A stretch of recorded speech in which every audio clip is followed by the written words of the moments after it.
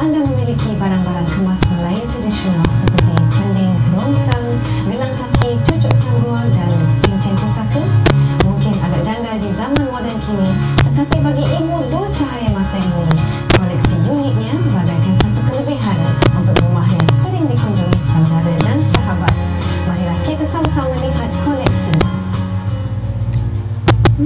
Minat mengumpul perhiasan diri membawa pemilik koleksiku minggu ini, Puan Elaisa atau Kyo Abdullah berkongsi hobi mengumpul barangan kemas lebih lima dekad yang masih terpelihara elok dalam simpanannya.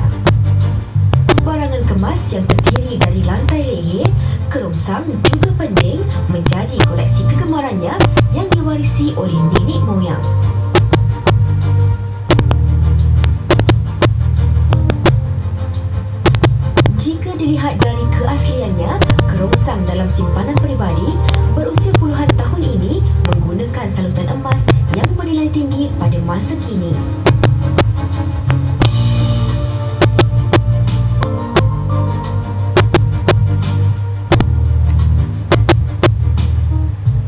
Barang-barang kemas kira dalam um, started dari 1980 lah. Dah 30 tahun lah.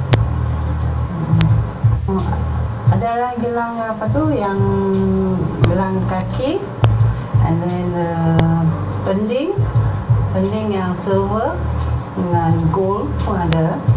Um, dengan tobacco boxes dengan belt lah silver belt sana dalam collection I kan. Yang croissant store tu yang besar sekali tu yang tu banyak yang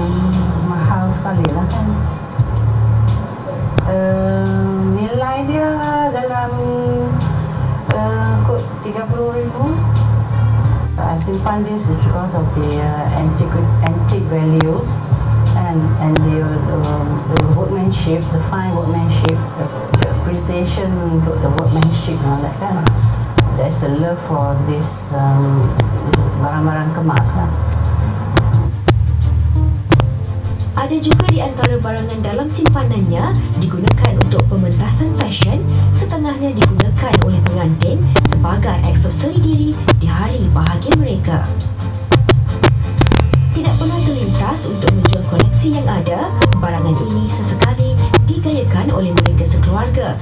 menghadiri majlis keramaian dan dijadikan barangan